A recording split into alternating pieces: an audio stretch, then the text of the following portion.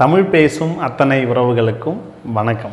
இதுனும் வள்ளலார் வேலைவாய்ப்பு சேவை இயக்கம். இன்றைக்கி நம்ம இந்த வீடியோவில் பார்க்க போகிற வேலைவாய்ப்பு தகவல்கள் அப்படின்றது தமிழ்நாட்டில் மட்டும் இல்லை பாண்டிச்சேரியில் மட்டும் இல்லை இந்தியாவிலே இயங்கிக் கொண்டிருக்கிற மிகப்பெரிய மிக பிரம்மாண்டமான இண்டஸ்ட்ரியில் இருக்கக்கூடிய அற்புதமான வேலைவாய்ப்பு தகவல்களை தான் பார்க்க போகிறோம் அப்படின்றத முதல்ல பதிவு செய்கிறேன் இந்த கம்பெனியில் வேலை செய்யணும் அப்படின்றது பலரோட கனவாகவும் இருக்குது ஏன் அப்படின்னு கேட்டோன்னா ஒரு அரசு வேலைக்கு போனால் என்னென்ன மாதிரியான சலுகைகள்லாம் வேலை செய்கிறவங்களுக்கு கிடைக்குமோ அது போன்ற சலுகைகள் இந்த ப்ரைவேட் கம்பெனியில் வேலை செய்கிறவங்களுக்கும் கிடைக்கும் அப்படின்றது இதில் வேலை செய்கிறவங்களுக்கு ஆல்ரெடி தெரியும்.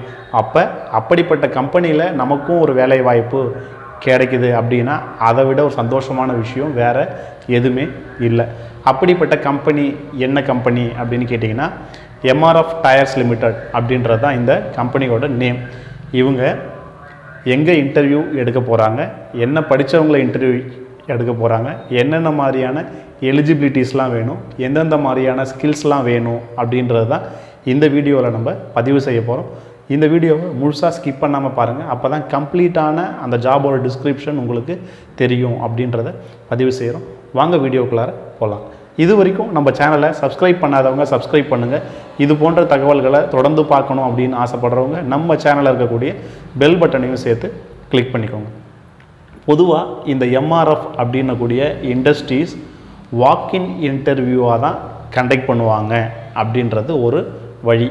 ஏன் அப்படின்னு கேட்டோன்னா இவங்க கம்பெனிக்கு தேவையான வேலையாட்களை ஒட்டுமொத்தமாக ஒரே இடத்துல இந்த ஒரு கம்பெனி மட்டும் இருந்து செலக்ட் பண்ணுறதுக்கு பேர் தான் வந்து வாக்கின் டிரைவ் இப்போ நடக்க போகிற இந்த வாக்கின் டிரைவில் நீங்கள் கலந்துக்கிறதன் மூலயமா உங்களுக்கான வேலை வாய்ப்பை நீங்கள் ஏற்படுத்திக்க முடியும் அப்படின்றத நாங்கள் பதிவு செய்கிறோம் இதுக்கு என்னென்ன மாதிரியான எலிஜிபிலிட்டிஸ் அதாவது தகுதிகளாக இவங்க வச்சுருக்கிறாங்க அப்படின்னு கேட்டிங்கன்னா நீங்கள் மேல் கேண்டிடேட்டாக இருக்கணும். ஃபீமேல் கேண்டிடேட் இப்போ எடுக்கக்கூடிய இந்த பொசிஷனுக்கு தேவையில்லை அப்படின்றதையும் பதிவு செஞ்சுருக்காங்க. ரெண்டாயிரத்தி பதினெட்டு ரெண்டாயிரத்தி பத்தொம்போது. இந்த ரெண்டு இயரில் நீங்கள் முடிச்சுட்டு வெளியில் வந்தவங்களா இருக்கணும். அதாவது ஒன்று டூ தௌசண்ட் எயிட்டீன் பாஸ்ட் அவுட்டாக இருக்கணும். இல்லை டூ தௌசண்ட் நைன்டீன் பாஸ்ட் அவுட்டாக இருக்கணும். நீங்கள் இந்த அகாடமிக்கில் படித்து வெளியில் வரும்போது குறைஞ்சபட்சம் அறுபது சதவீத மதிப்பெண்களை பெற்றிருக்கணும் அப்படின்னு இவங்க தெளிவாகவே மென்ஷன் பண்ணியிருக்காங்க. அரியர்ஸ் எதுவுமே இருக்கக்கூடாது அப்படின்னும் சொல்லியிருக்காங்க. இதுக்கு ஏஜ் லிமிட் என்ன அப்படின்னு கேட்டிங்கன்னா நீங்கள் பதினெட்டு வயதுலேருந்து இருபத்தி மூணு வயதுக்கு உள்ளே இருக்கிறவங்களா இருக்கணும் அப்படின்றதையும் தெளிவாக இவங்க மென்ஷன் பண்ணி சொல்ல சொல்லியிருக்காங்க. அடுத்தது பார்த்தீங்கன்னா இந்த வேலைக்கு வரக்கூடியவங்க மூணு ஷிஃப்ட் அதாவது willing to work in shift night ஷிஃப்ட்டும் இருக்கும். அதையும் ஒர்க் பண்ணுறதுக்கு வில்லிங் இருக்கிறவங்க மட்டும் இந்த வாக்கின் இன்டர்வியூவுக்கு வந்தால் போதும் அப்படின்னு சொல்லியிருக்காங்க.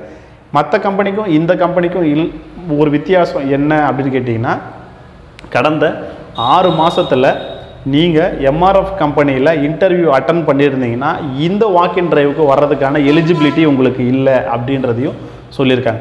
அப்போது கடந்த ஆறு மாதத்தில் இன்டர்வியூ இந்த கம்பெனியில் அட்டன் பண்ணாதவங்க மட்டும் மற்றவங்களும் சேர்த்து இந்த வாக்கின் இன்டர்வியூவில் அட்டன் பண்ண முடியும் அப்படின்றதையும் பதிவு செய்யும் ஓகே என்ன படித்தவங்களுக்கு இவங்க வேலை கொடுக்குறாங்க அப்படின்னு கேட்டிங்கன்னா நீங்கள் டிகிரியில் பிஎஸ்சி டிகிரி முடிச்சிருக்கிறவங்களுக்கு மட்டும் நீங்கள் பிஎஸ்சி டிகிரியில் எந்த டிகிரி வேணால் கம்ப்ளீட் பண்ணியிருக்கலாம்.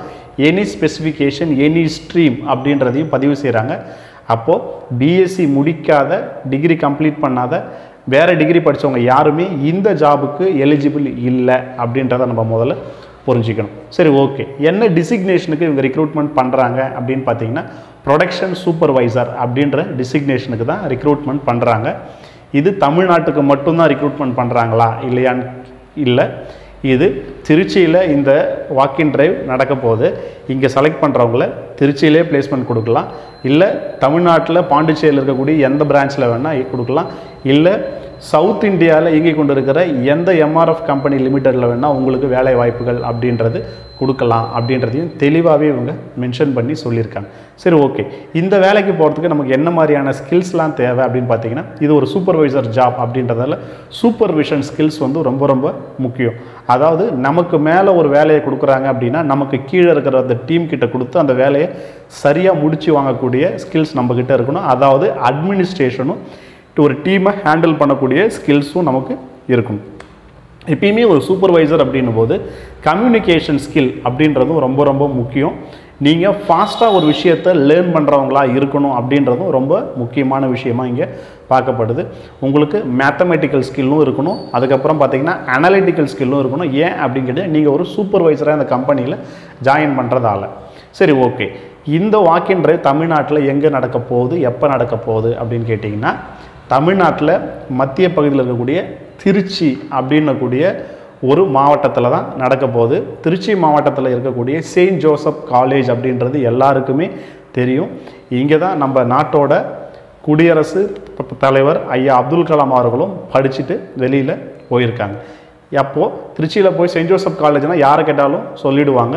இந்த செயின்ட் ஜோசப் காலேஜில் எம்சிஏ செமினார் ஹால் அப்படின்னு ஒரு ஹால் இருக்குது இங்கே தான் நடக்க இருக்குது எத்தனாம் தேதி அப்படின்னு கேட்டிங்கன்னா பதினெட்டு பன்னெண்டு ரெண்டாயிரத்தி பத்தொம்போது. அதாவது பதினெட்டு டிசம்பர் ரெண்டாயிரத்தி பத்தொம்போது புதன்கிழமை அன்னைக்கு காலையில் எட்டரை மணிக்கு இந்த இன்டர்வியூ அப்படின்றது ஸ்டார்ட் ஆக போகுது.